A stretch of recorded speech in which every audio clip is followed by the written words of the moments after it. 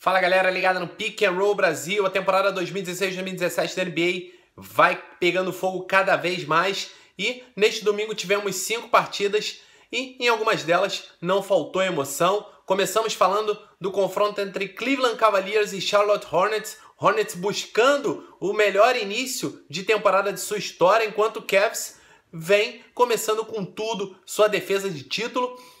Uma partida que teve muitas reviravoltas, o Cavs começou melhor, Cavs que não teve a presença do J.R. Smith com dores no tornozelo direito, mas mesmo assim foi melhor no primeiro quarto, só que a partir daí o Hornets tomou o controle do jogo, mais uma vez comandado pelo Kemba Walker, 21 pontos para ele, liderou durante grande parte do segundo e do terceiro quartos, e no último período o Cavs acordou. Mas se o LeBron James esteve muito bem, os companheiros dele foram outros. O Tyron Lu confiou naqueles jogadores que ajudaram o Cavs a assumir o controle do jogo, no Iman Champer, no Channing Fry. O LeBron James jogou junto com a segunda unidade e foram esses jogadores que conseguiram virar a partida a favor do Cavs. O LeBron, que vinha apagado, teve só 8 pontos nos três primeiros quartos. No último quarto, voltou com tudo 11 pontos e 5 assistências no período final. E o Channing Fry, que acertava tudo. De onde arremessava a bola caía, foi o cestinha do Cavs, 20 pontos. O Cavs conseguiu uma excelente virada para fechar a partida com um placar de 100 a 93, ninguém segura os atuais campeões. Neste domingo também tivemos reencontro.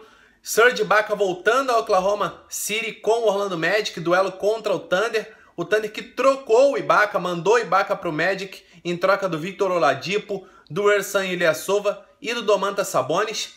E o Ibaka veio muito motivado, 19 pontos no primeiro tempo. O Thunder, por outro lado, irreconhecível. O Orlando Magic aproveitou e chegou a vencer por mais de 20 pontos durante os dois primeiros quartos. O Thunder começou a se recuperar na partida, comandado pelo Russell Westbrook, 41 pontos, 12 rebotes, 16 assistências, terceiro triple-double na temporada, triple-double número 40 na carreira.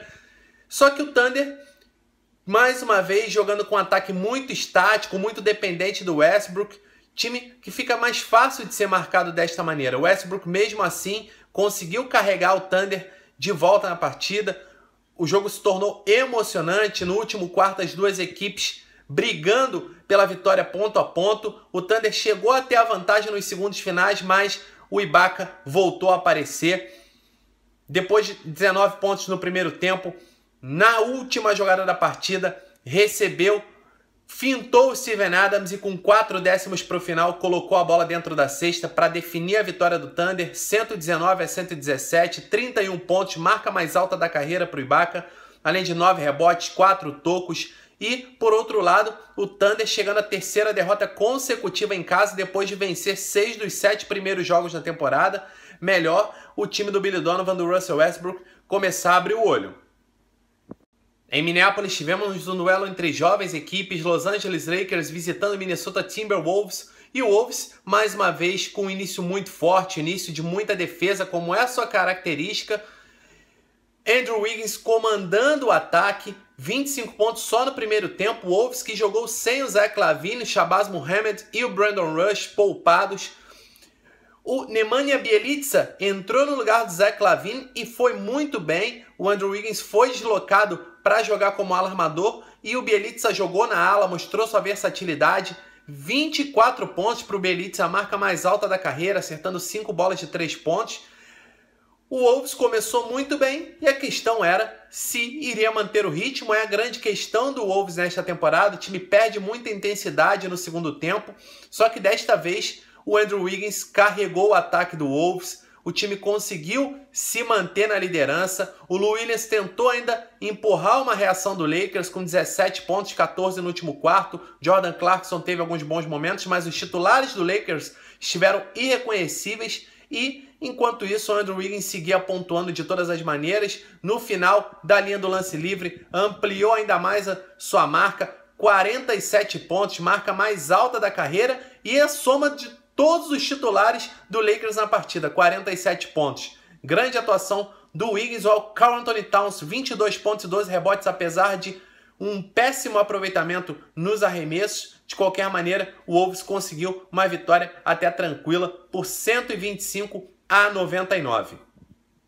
Em Oakland, o Golden State Warriors precisou de todos os seus recursos ofensivos para superar o Phoenix Suns. O Suns fez um jogo duríssimo, aproveitando os muitos erros cometidos pelo ataque do Golden State Warriors e também aproveitando a falta de intensidade defensiva em alguns momentos. O Warriors oscilando muito nesse sentido. O Draymond Green fez uma crítica à equipe, a maneira como a equipe vem se comportando nos dois lados da quadra. Defensivamente, o Draymond Green vem fazendo o papel dele. Teve grandes números, 14 pontos, 7 rebotes, 11 assistências, mas também apareceu muito em coisas que não contam como estatística.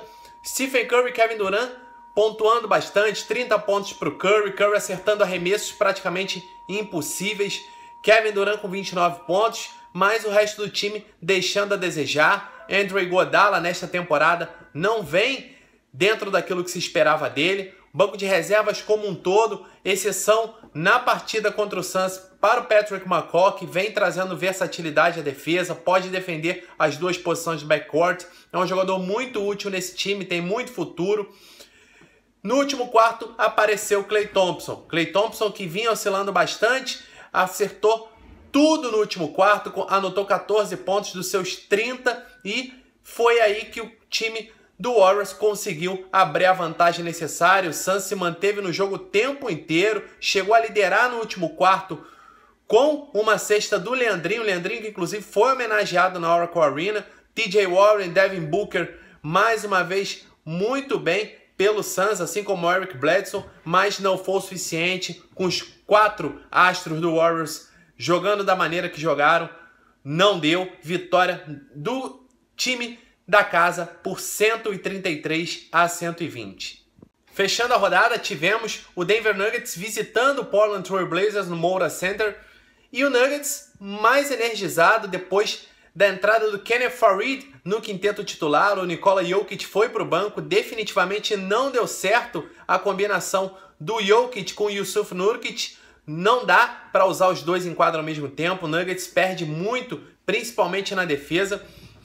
Com o Farid, o time teve muito mais energia, mais intensidade e Danilo Gallinari, como sempre, comandando o ataque, 19 pontos para ele. E o Jamal Murray, calouro que vem crescendo muito, mais uma vez aparecendo bem. Os arremessos do Jamal Murray vão começando a cair como caíam na Universidade de Kentucky, também teve 19 pontos. Nuggets foi para o intervalo na frente, 57 a 50, só que no intervalo o Terry Stotts pagou geral no vestiário, do Blazers e o time voltou com outra atitude. O time voltou defendendo muito bem, um terceiro quarto impecável, tanto na defesa quanto no ataque. O Damian Lillard e o CJ McCollum mais uma vez carregando o ataque de Portland, 32 pontos para o Lillard, 21 para o McCollum.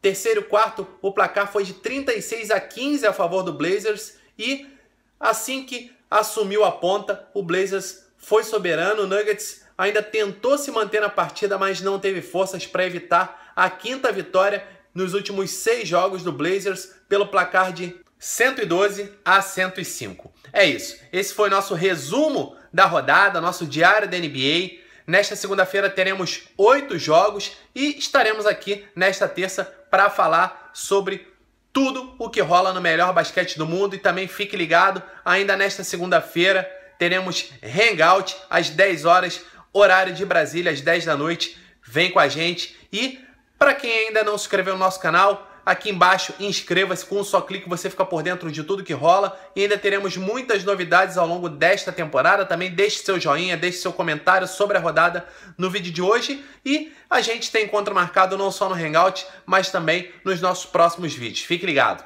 Abraço!